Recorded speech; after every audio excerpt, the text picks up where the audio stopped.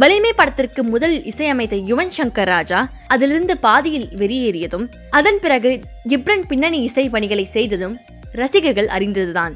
அதனால் யுவன் மற்றும் இயக்குனர் வினோத் இடையே என்னதான் பிரச்சனை ஏற்பட்டது என ரசிகர்களும் தொடர்ந்து கேள்வி எழுப்பி வந்தனர்.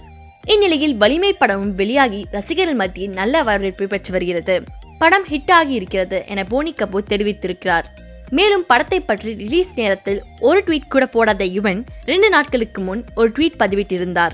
அதில் கிப்ரன் பிஜிஎம் நைஸ் என்று குறிப்பிட்ட அவர் தனது பாடல் மற்றும் விசில் தீமை பாராட்டும் ரசிகர்களுக்கு நன்றி கூறியிருக்கிறார். இந்நிலையில் போனி கபூர் அளித்திருக்கும் பேட்டியில் யுவன் பற்றி பேசியிருக்கிறார். யுவனுக்கும் எனக்கும் எந்த பிரச்சனையும் இல்லை. அவர் எனக்கு நெருக்கமானவர். யுவன் மியூசிக் எனக்கு ரொம்ப பிடிக்கும்.